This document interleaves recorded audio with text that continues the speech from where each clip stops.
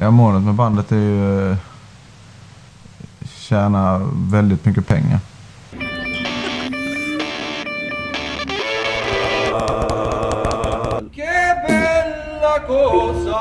Jag rappar en hel del också.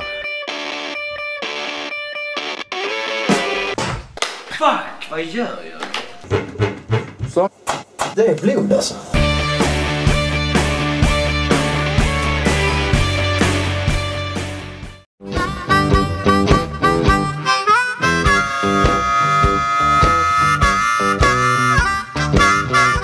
För mig är blues allting så länge som känslan och hjärtat är med. Alltså det finns ingen, eh, jag kan inte definiera det som någon speciell känsla eller speciell, alltså att det ska vara såsigt eller att det ska vara dystert eller... Nej, men för mig, för mig är blues lika mycket glädje och, och kärlek och allt som livet har att ge. Alltså, man sjunger blues när man mår bra, man sjunger blues när man mår dåligt. Blues är livet med uppgångar och nedgångar.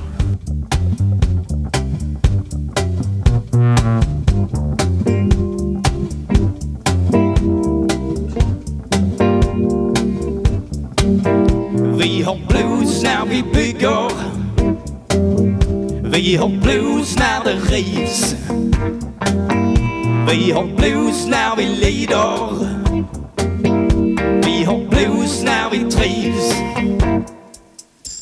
Vi har blues när vi bygger. Vi har blues när det rivs. Vi har blues när vi lider. Vi har blues när vi trivs. Om vi börjar helt från början och säger som det är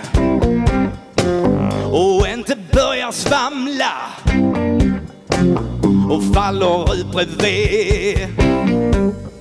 Om vi snackar ifrån hjärtat och lyder vad det säger och skiter i det andra som suger ut och tär.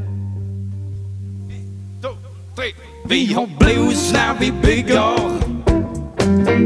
Vi har blues när det rivs. Vad är blues? Ja, alltså för mig är det ju musik med mycket känsla. Handlar, det handlar om att beskriva känslor på ett eller annat sätt. Alltså man vill få fram eh, sorgen kanske om det är det, men även glädjen. Så För mig skulle jag säga att blues det är musik med mycket känsla. Mycket, Blues när vi lider. Vi har blues när vi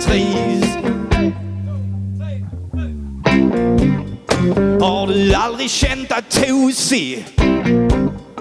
Har du aldrig känt dig blåst? Har ditt minne aldrig sviktat? Av att tanken ej kan nås? Vill du höra våra tankar? Hur vi löser detta bry? Hur vi jobbar som en enhet för att fly. Vi har blues när vi bygger. Vi har blues när det rivs. Vi har blues när vi lider. Vi har blues när vi trivs. Mm. Vi har blues när vi bygger. Vi har blues blues. När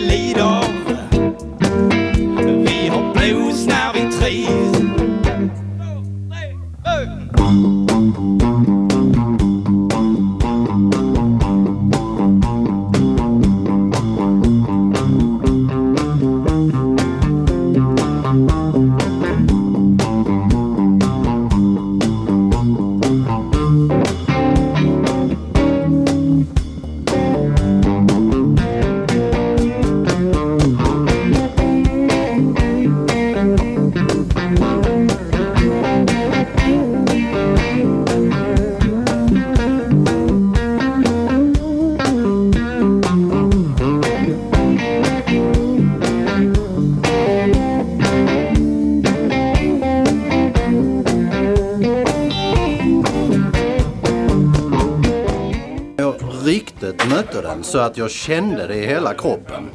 Det var när jag var 16 år. Jag kom hem från en tågluffning. Jag hade inte haft någon gitarr med mig. Jag hade inte spelat på en gitarr på en månad. Vilket var extremt länge på den tiden. Jag högg farsans gamla akustiska gura, satte på Stagebro Blues med Allman Brothers från Woodstock och började spela till den. Den gick i G, jag kommer ihåg det nu. Och, och när, jag fick, när jag fick några toner som flöt så det funkade, då tänkte jag det här, detta är grejen. I don't wanna cornbread, peas and black molasses. I don't wanna cornbread, peas and black molasses. It's supper time. Lord, Lord, Lord, supper time.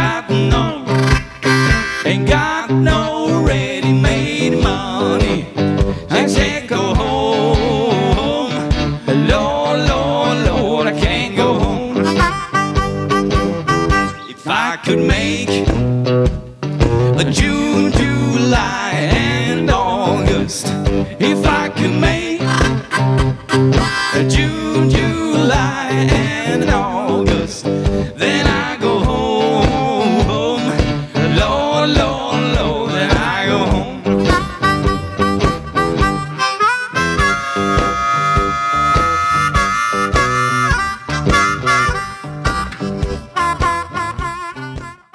var faktiskt genom eh, Beatles som jag började lyssna aktivt på när jag var sådär 7-8 år. Min svåger han lärde mig att lyssna på blues och eh, då hade de ju, de snuddade med bluesen ibland. De hade en låt som hette eh, Your Blues bland annat, en slow blues. Och det var väl första kontakten jag hade. Sen var det nog den svenska bluesen, Louise Hofsten, Peps, eh, som jag började lyssna på kanske ah, när jag var sådär 16, 17, 18 någonting. Då började jag liksom hitta någonting där i det och själv börja leka lite grann och skaffa ett munspel. Som jag fick av min svåger också för mitt första munspel.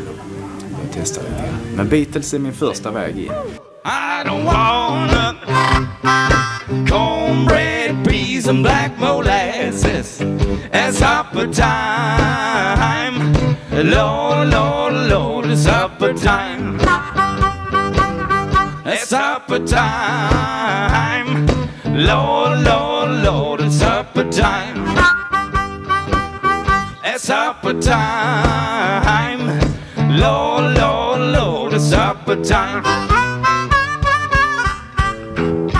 första bluesen jag kom i kontakt med. Jag har försökt, det, mm, det, nu är ju, det är ju rätt länge sedan. Jag skulle tippa på att det var i tonåren.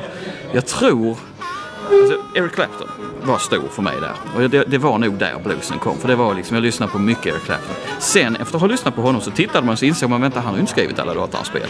Så då kunde man ju gräva sig ner och så kunde man hitta Robert Johnson naturligtvis. Led Belly var en annan gitarrist som jag lyssnade mycket på då. Tolvsträngad bluesgitarr. helping somebody else. Well,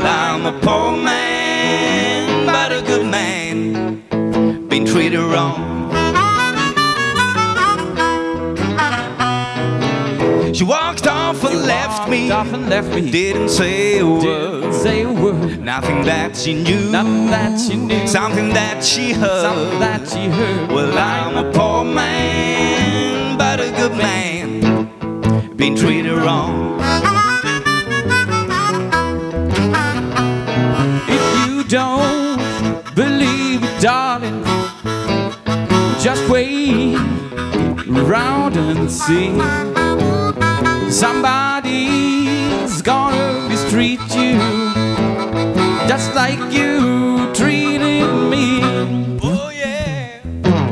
I walked down to the Walked station. to the station, Looked up on the wall. looked up on the wall, My money was light. My money was Ain't going nowhere at all. going nowhere at all. Well, I'm a poor man, but a good man. Been treated wrong.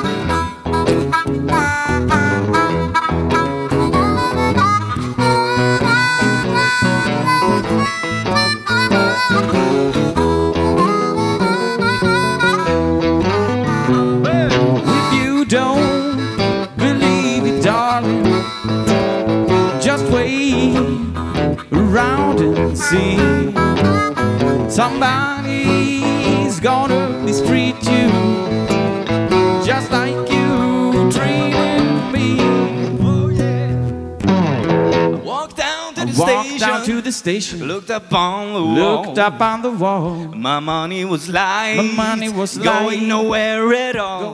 Och ska man gå ännu längre tillbaka så är det ju faktiskt så får man gå tillbaka till Afrika och titta på folkmusiken från Afrika.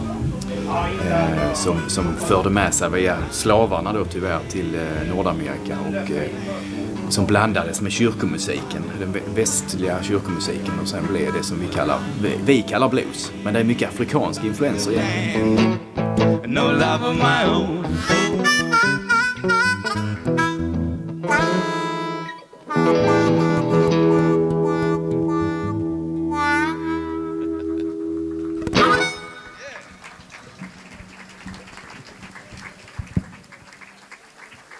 Tack så hjärtligt.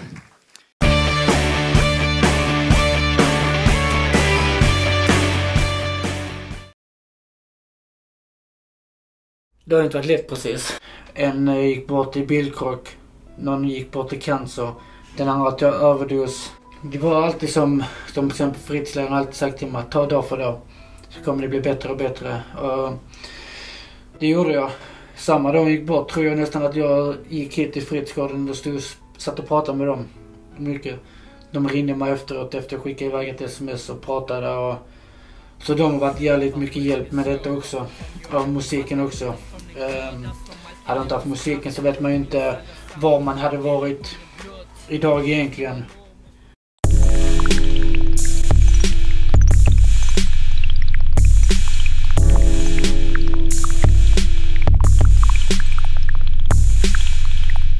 Nu, jag vet inte, jag tror det är, man kan ha varit tre år sedan kanske, Eh, som jag fick kontakt med Fritzgården. Jag satt och snackade med Fritz, ledaren där nere lite. Vi har bra kontakt, jag har bra kontakt med dem. Vi snackar liksom om allt från himmel till jord.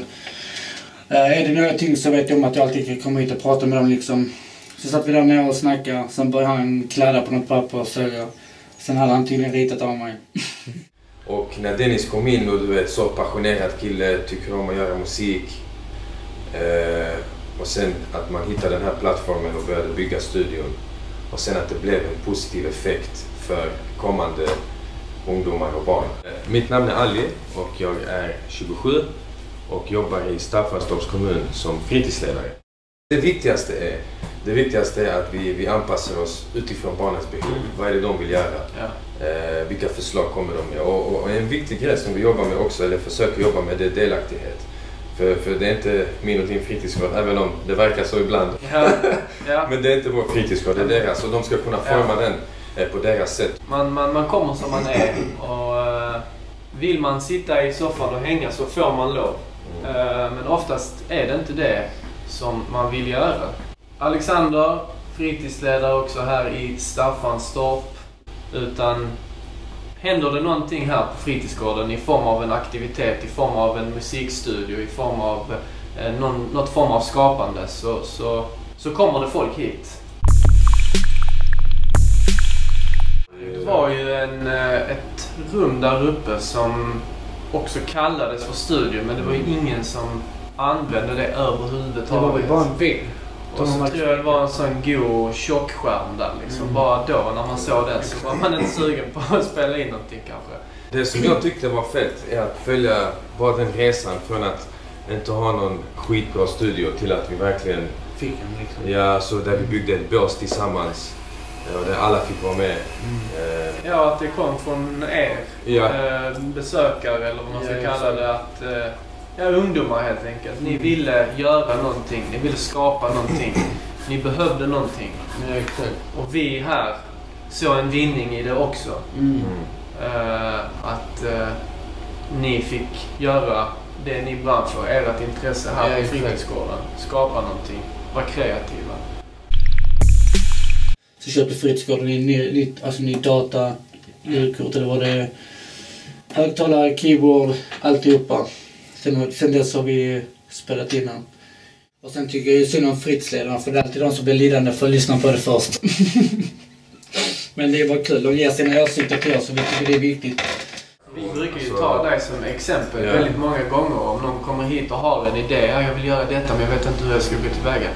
Ja men kolla denna eh, killen här på Youtube, Dennis. Mm. Eh, han eh, började här, han visste inte riktigt vad han ville göra men han ville göra någonting med musik och, och detta är hans musikvideo idag. Och då tänker de, ah om han kan göra det då, då kan jag också göra det. Man skapar någon typ av plattform för de som är Mm. intresserade av detta som kanske gått runt och tänkt men jag gillar musik men jag vet inte riktigt hur jag ska gå tillväga. Hur fan ska man få tag på en studio? Mm, exakt. eh, och sen en scen och allt det här. Men, men det är det jag tycker är häftigt att, att du har ändå gett tillbaka och bidragit till fritidsgården. Mm. Och tillfört med de här sakerna med vissa event. Eh, Och sen har vi också personligen, alltså privat tid, kommit och kollat på det när du har Ja, uppträtt vet. eh, i Lund och kommuner runt omkring. Fan, jag och mina polare stack till fotbollsplanen och spelade fotboll när det var is där. Alltså vi tänkte oss aldrig för för vi var så inbundna i en och samma grej. Så det var mycket fotboll jag var ganska duktig. Uh, sen, jag vet inte, det var väl grupptrycket. Den ena slutade, sen slutade den tredje. Sen följde man med i det grupptrycket. Nian, där man började liksom bara, nej men fuck betyg, det är ingenting för mig. Då började man ju skolka och dittan dattan. Sen blev det en runda till IV där. Uh, så gick det ett år. Sen hamnade jag i Svalövs gymnasium. Sen hoppade jag av så började jag jobba direkt när jag blev 18. Så eh, skolan är något bra. Inte för mina betyg är de bästa. Eh, jag tänker inte sätta mig i skolbänken igen. Det är ingenting för mig. Jag brukar ändå nu efterhand har börjat tänka på om jag gjorde rätt beslut eller jag gjorde fel beslut. Men det som jag själv har tänkt mig är att det som jag har lärt mig idag, det har ingenting med skolan att göra. Skolan har inte lärt mig liksom min syn på livet. De har inte lärt mig betala räkningar. Ni då, du och ja, dina polare var ju väldigt eh, taggade också att hjälpa till och, och liksom bygga den här studion som Ja, vi faktiskt gjorde. Det var ju, vi jobbade ju men samtidigt kändes det som att det var någonting vi ändå gjorde tillsammans. Vi stannade Mm. över lite extra timmar och tänkte väl inte riktigt på när vi slutade utan vi ville få klart det här för att det var, det var så himla roligt. Jag hade inte en enda aning om något. Nej. Jag har nästan aldrig sett en spik i mitt liv. Nej men det var lite så. Det är det som är häftigt. Att det var inte så att vi tog hit några proffs. Eh, eller någon riktig snickare eller något sånt som fixade. Vi gick in på Google, vi gick in på Youtube. Hur gör man det? Hur gör man det? Och sen var det, du vet, när man är så många så, så kommer det alltid idéer från någon och någon har någon typ av erfarenhet. Så tillsammans så fick vi det att funka i alla fall. ja, exakt. Och vi hade kul på vägen. Och Absolut. det var det som var kul. Och sen som Alex var inne på att Alltså det var en vinning för fritidsgården också Mm. senare. För det här blev ju ett startskott. Mm. Ja. Men sen efter det så har ju bara studion blivit mer och mer populär. Mm. Och det är många som har spelat in låtar där. Det är många som vill lära sig. Sen så blev det ju mycket med droger och sånt. Fick jag min första lägenhet. Och där, jag och mina polare vi drack hela tiden. Det var liksom från onsdag, torsdag, fredag, lördag, söndag. Alltså det var hela tiden. Och jag var den enda som jobbade ju. Och vissa dagar man kom bakis till jobb och allt sånt där. Eh, men det var faktiskt en kul tid för det var då egentligen musiken började ta på allvar. Eller inte allvar men det var då det grunden till det hela började. Det är många också som nu har sett, som, som vet vem du är Ja. här i Staffanstorp. Du, du minns ju igår. Senast igår så kom det ju fram två kids och bara wow, Dennis Andén. Alltså, hon, Alltså det är ju... hon lilla berättade, ja min pappa lyssnar på dig Ja, Dennis. ja. Och så fick du skriva autograf. Ja men det blev så ringar i vattnet och det, får, Ja. det, det är det som är häftigt eh, för fritidsgården också. Och för dem att det finns ett ställe där man kan spela in musik på. Eh, och där personalen kan hjälpa till med det. Och du har också varit med och hjälpt till Mm. Ja. eh, sen. Jag gör vad jag kan ju. Ja. Så fort jag får tid över. Ja men förutom att du har eh, utnyttjat studion och gjort din grej, spelat in dina låtar efter låtar efter låtar och album och allt det där. Så har ju du gett mycket tillbaka till oss på fritidsgården genom att eh, hjälpa andra barn, ungdomar Ja, eh, som har ett intresse för musik. Eh, och även genom att du som eh, är rappare i Staffanstorp. Du Mm. finns på Youtube och så vidare. Folk har sett dig, kanske inte vetat ja, men hur, hur går han tillväga och så vidare. Så känner jag väl att du har varit väldigt öppen med att fritidsgården, det är där jag startade. Mm. Och det kan även ni göra. Och, och det har faktiskt visat sig. Ja. Eh, Det har kommit Ja. hit folk som sagt, eh, han Dennis Landén, eh, han är ju från Staffanstorp. Han, han, han gjorde väl musik här? Ja, absolut. Mm. Och jag menar det har varit ett samtal ifrån att du, jag har en uh, unge här som har hört talas om dig och kan inte du hjälpa han lite i studion? Ja, och exakt. du har gjort det. Flera gånger. Ja. Så det är liksom från att sitta i en lägenhet när man har hållit på med droger och alkohol tills att vända på hela historien och börja, alltså vara här liksom. Eh, Om man säger så. Och det, det var en lärorik tid. Händelserik som fan. Men det var fett värt det. Faktiskt. Man måste liksom gå igenom vissa saker i livet för att kunna se vad man egentligen vill göra. För de andra små barnen som har lyssnat på dina låtar på Youtube, som har sett dig eh, och sen kommit hit och också velat göra samma sak. Ja. Eh, så det har ju va- varit skithäftigt. Och sen tycker jag en, en, en helt annan aspekt av hela den här grejen är också eh, det som har hänt utanför musiken. Mm. Alltså resan du har gjort utanför musiken. Ja, där musiken har varit som ett verktyg. Mm, mm. Och fritidsgården har också varit som ett verktyg för dig. Och för mig är det mer intressant. För mig, för mig tycker jag, jag tycker det är roligare att se hur ditt liv har blivit eh, efter att du har Ja, varit i precis. studion. Att du har börjat jobba nu, du kommer hit mer, din, din... Som du säger, ditt liv har börjat bli mycket bättre på må- många olika sätt. Det har gått upp och ner hela tiden. Jag vet inte hur många gånger jag har öppnat upp mig. Alltså om allt möjligt skit alltså. Mm. Men eh, ja, jag behöver inga psykologer. Behöver er. Och sen har vi alltid varit så att vi har alltid haft dörrarna öppna. Absolut. Och, och, och eftersom vi har haft det så, så är det som att du också har haft dörrarna öppna för oss när vi har sagt att ja, men vi ska ha en studio session. Mm. Vi ska ha studio workshop. Hade du kunnat komma hit kanske och köra lite med barnen. Och studion är alltid öppen för dig. Mm. Men som du också vet att kommer barnen hit Ja, så går de för. så, så går de före och då kan ni köra tillsammans i studion. Och det har du alltid tagit på det bästa sättet. Mm. Jag tycker det är viktigt alltså. alltså jag vill, man vill ju ändå få fram de andra också. För du har blivit en förebild. Ja, det märkte jag igår. Ja. Faktiskt. Och det, och det ska du ta vara på. Mm. För det, du, du kanske inte ser det men jag tror vi runt omkring, vi hör det och vi ser det ofta. Mm, det och eh, det kan du använda på ett positivt sätt. Ja, precis. Du är ju en sån person som gärna eh, har inga problem att ställa en fråga till någon. Många kan vara, ah men ö, jag vet inte, han kommer ändå svara nej och sånt. Du, du utgår oftast från att ja, det värsta den personen kan säga är nej. Så är det det, det gör ingenting. Man kan inte få mig att nej. Nej. Alltså det är det. Och det tror jag är en egenskap som är väldigt positiv. Så glöm inte att sen när du blir miljonär, ha?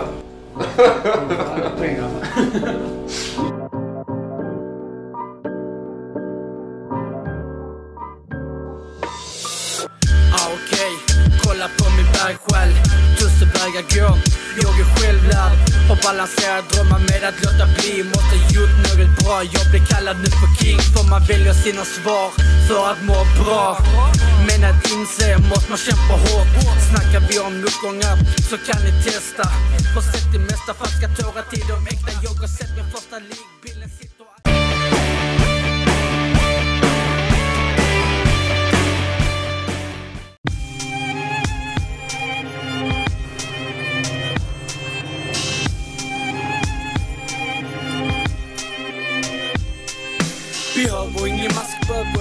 dölja mig För den killen som ni ser. Behöver inte gömma sig. Enda ägodelen jag har är man själv. Varför be om pengar? Varför be om hjälp? Behöver jag vända? Jag är shit kriminell För jag tänder bara gnistor när jag sitter i mitt hem. Folk slickar massa visslor, det är ingen hemlighet Folk tömmer sina fickor, de som vet, ja de vet Och räknar sina stålar, varför ska man snåla? Ber jag om min röding så vet jag att de vågar. Behöver shit fråga för att leken ska man tåla Så fort jag börjar tala sätts elden i låga. Är på samma bana fast på en ny nivå. Då så becknar de becknar utanför min trappuppgång. Ryggsäcken full med weed och alkohol. Sirenen de hör shit, något är på gång. Något är på gång, vi måste vara tysta. Spring fort innan lammen de tystar, lyssna. Skuggan den faller, killen är fri. Inte bakom galler, något är på gång. Vi måste vara tysta. Spring fort innan lammen de tystar, lyssna. Skuggan den faller, killen är fri. Inte bakom galler jag är fri, jag ger inte upp hoppet Lågen brinner starkt och man känner det i kroppen. Jag står på min mark och har varit på botten Som Jenny Stark, Djurn sparkar mig till toppen. Har vunnit detta loppet och det ekar överallt. Lågorna de faller men fick aldrig mig på fall. Så fuck era skvaller och jag håller mig kall. Alla ögon på mig och ni ser att jag vann. Ah. Jag är varm och jag tänker inte springa. Ingenting att lindra, inget att förhindra. Varför ska ni ringa när saker börjar brinna? För det brinner i min själ och jag svär jag ska vinna. Komma bort från denna vägen, flyga utan mina vingar. Gatorna har ögon, men jag har mina. Lär försvinna med inte grabben vid mig. Som en soldat så känner han och vibbar. Något är på gång, vi måste vara tysta. Spring fort innan lammen de tystar, lyssna. Skuggan den faller, killen är fri.